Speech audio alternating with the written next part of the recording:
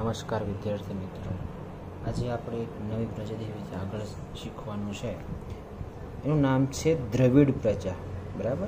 જે હમણાં આપણે આગળ સ્ટાર્ટિંગમાં વાત કરી કે ભારતમાં દ્રવિડ પ્રજાની જે ગણના છે, પ્રાચીનતમ પ્રજા તરીકે થાય છે. આમ એવું ગણવામાં છે, સૌથી જૂની છે. તો આપણે એમાં આજે શરૂઆત કરીએ કે દ્રવિડ જે મૂળ ક્યાંના હતું કે ભારતના જ હતા. બરાબર? દ્રવિડ જે છે એ ભારતની જ પ્રજા હતી. તેમને મોહેન્જો દડોની સિંધી સંસ્કૃતિના સર્જકો. બરાબર જે તમે ઋતિક રોશનનું પિક્ચર જોયેલું હશે. મોહેન્જો દારો બરાબર? એમાં જે સંસ્કૃતિ બનાવે છે, એના સર્જકો, એનું સર્જન કરનાર, એને બનાવનાર કોને ગણવામાં આવે છે? દ્રવિડ લોકોને ગણવામાં આવે છે. પાષાણ એટલે કે પથ્થર થાય. પાષાણ યુગની સંસ્કૃતિના સીધા વારસદાર તરીકે ઓળખવામાં આવે છે.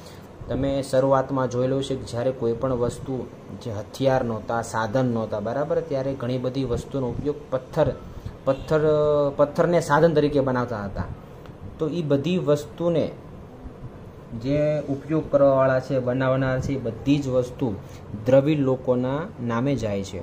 ઉત્તરમાંથી આવેલી વિવિધ પ્રજાની ભાષા અને સાંસ્કૃતિક લક્ષણો શું થયા એના ટકી રહ્યા. જેટલી પણ પ્રજા ભારતમાં આવી, એના કંઈક ને કંઈક લક્ષણો આપણે એની પાસેથી લીધા અને આપણે સાચવી રાખ્યા છે. સમયાંતરે આ લોકો શું કહેવાના હતા કે દ્રવિડ કહેવાના છે. દ્રવિડોએ માતા રૂપે દેવી એટલે પાર્વતી અને પિતૃ રૂપે પરમાત્મા એટલે કે શિવની પૂજાની સમજ આપી. જો આ વસ્તુ આપણે શીખવા જેવી છે કે આપણે જે આરતી પૂજા કરતા થયા, શિવ ભગવાનની પાર્વતી માતાની, તો આ બધી વસ્તુ આપણને કોણે આપી? કોણે શીખવાડી, કોણે સમજાવી? તો આ બધી જ દેન છે દ્રવિડ લોકોની. બરાબર? તમને એવું કહેવામાં આવે, આગળ સવાલ આવે છે. દીપ, ધૂપ અને આરતીથી પૂજા કરવાની પરંપરા દ્રવિડોએ આપી હોવાનું મનાય છે. તમારે એક્સ માર્ક્સમાં, એક માર્ક્સમાં પૂછાય કે આરતીથી પૂજા કરવાની શરૂઆત કોણે કરે? તો કે દ્રવિડ લોકોએ. આ ઉપરાંત પ્રકૃતિ પૂજા પશુ પૂજા વગેરે શું છે? દ્રવિડોની ભેટ છે. આપણે ગાય માતાની પૂજા કરતા હોઈએ. બરાબર છે? સુરત દાદાને આપણે સવાર સવારમાં ઘણા બધા વ્યક્તિઓ પાણી અર્પણ કરતા હોય. બરાબર? જળ ચડાવતા હોય. તમે તારક મહેતાના ઉલટા ચશ્મામાં તમે જોયું છે સવાર સવારમાં જેઠાલાલ સુરત દાદાને જળ અર્પણ કરે છે. એ પ્રકૃતિ પૂજા થઈ. પછી આપણે ગાય માતાની પૂજા કરીએ, પશુ પૂજા થઈ. બરાબર? આ બધી વસ્તુ આપણને કોણે શીખવાડી? તો કે દ્રવિડ લોકો શીખવાડેલી છે. દ્રવિડોના મૂળ દેવો આર્યોએ સ્વીકારી લીધા અને તેમને સંસ્કૃતિના દેવો તરીકે શું કર્યા? એ લોકોને પુનઃ સ્થાપના કરી. સમય જતાં ઉત્તરના પ્રચંડ પ્રભાવ હેઠળ દ્રવિડોમાં આર્ય સંસ્કૃતિ ઊંડે સુધી શું થઈ? વ્યાપી ગઈ. આંતરજ્ઞાતીય લગ્ન સંબંધો પણ શું થયા? એ સમયમાં એક જ જ્ઞાતિમાં લગ્ન કરવાની પરંપરા જો કોઈ શરૂ કરવાવાળા હોય તો એ છે દ્રવિડ લોકો, બરાબર? એ લોકોએ શરૂઆત કરેલી હતી.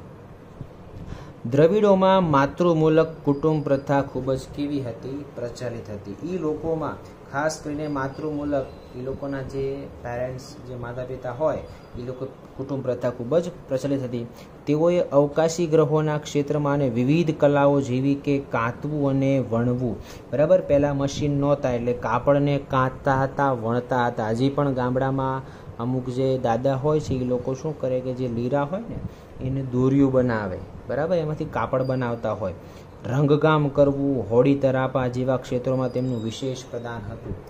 ઇન શોર્ટ કે પહેલાં કંઈ મશીન નહોતા. બરાબર? એટલે આ બધા જે છે ને, એ ગૃહ ઉદ્યોગ આને કહેવાય. આ બધા જ વસ્તુ આપણને લોકોએ શીખવાડેલી છે. આર્યોના પ્રભુત્વ બાદ તેઓ દક્ષિણ ભારત તરફ ખસતા ગયા અને ત્યાં શું થઈ ગયા, સ્થિર થઈ ગયા. દક્ષિણ ભારત એટલે આપણે છેડો. બરાબર? ચેન્નઈની એ બાજુ કહેવાય આપણે.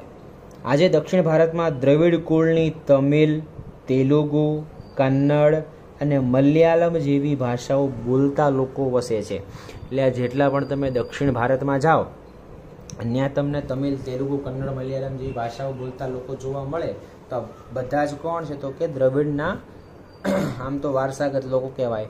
પ્રારંભિક તમિલ સાહિત્ય ઉર્મી અભિવ્યક્તિથી ભરેલું છે. આપણને એ બધી તમે વાંચો ને, તો એના શબ્દો જે છે, એના, એની લાઈન છે, એના વાક્યો છે, આપણને આમ કેવા કરે? પ્રોત્સાહિત કરે. તો એવા બધા એના વાક્યો હતા. પછી આગળનું આવે છે બીજી અન્ય પ્રજાઓ. એમાં શું કીધું છે? આ ઉપરાંત ભારતમાં મોંગોલોઇડ, અલ્પાઇન ડિનારિક અને આર્મેનોડ જેવી પ્રજા પણ ક્યાં ભારતમાં આવેલી હતી. બરાબર છે? તમને નામ આપ્યા છે. તમને એમ પૂછે કે ભારતમાં કઈ કઈ પ્રજા આવેલી હતી? તો અહીંયા નેગ્રીટો, ઓસ્ટ્રેલોઇડ, દ્રવિડ, પછી અહીંયા તમને આપી છે બીજી મોંગોલોઇડ, અલ્પાઇન ડિનારિક આર્મેનોડ જેવી વિવિધ પ્રજા આવેલી હતી. બરાબર? એમાં તમને આગળ કીધું છે કે મોંગોલોઇડ પ્રજા વિશે તમારે શું કીધું છે? તો કે આ પ્રજા ઉત્તર પશ્ચિમ ચીનમાંથી તિબેટમાં થઈને ભારતમાં આવી. ચીનમાં, તિબેટમાં તિબેટમાં થઈને ક્યાં આવી? ભારતમાં આવી.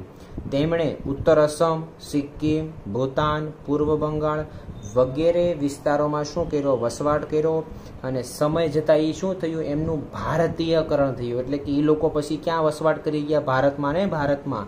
એ લોકો પછી પ્રોપર ભારતીય થઈ ગયા. આ પ્રજાનો વર્ણ કેવો છે? પીળો. આ લોકો તમને પીળા દેખાય. ચહેરો કેવો હતો? એ લોકોનો ચપટો હતો. ઉપસેલા ગાલ હતા, ખાધા પીધા ઘરના કહેવાય. પછી બદામ આકારની એમની આંખો હતી અને શારીરિક લક્ષણો આવા હતા. એક તો દેખાય પીળા, ચહેરો ચપટો, ઉપસેલા ગાલ અને બદામ આકારની આંખો હતી.